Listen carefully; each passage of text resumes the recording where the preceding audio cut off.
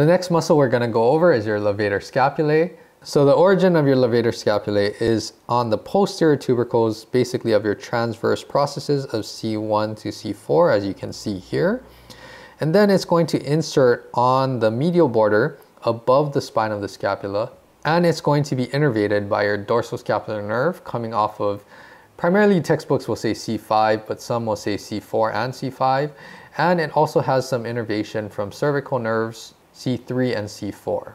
The action of the levator scapulae, you can see here, is that it's going to elevate and downwardly rotate your scapula. So again, downward rotation is when the glenoid starts to point down and you're rotating your scapula so that the inferior border is moving more medially and the glenoid is pointing down again.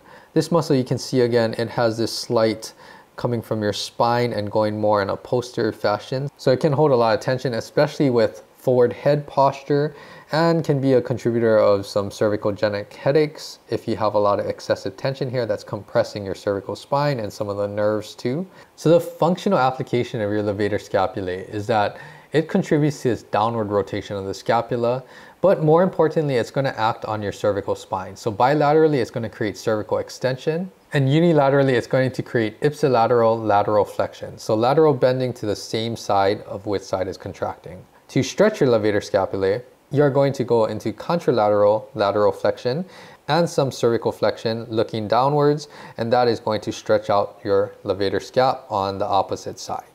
Also, what I see clinically is that if you have poor scapular stability, the levator scap tends to hold a lot more tension, tries to provide a little bit more scapular stability, but this is not the most ideal way to make up for lack of scapular stability. So that could be an issue too if you have poor scapular stability. You might be overusing your levator scapulae, and that could be problematic for head posture, neck tightness, and things like that. Hopefully you can use this information and apply it to your training, your clinical practice or coaching practice. And if you like this video, hit the like button below, subscribe to my channel. If you have any questions or feedback, drop it in the comments below. And stay tuned for more anatomy videos in the future. Aloha.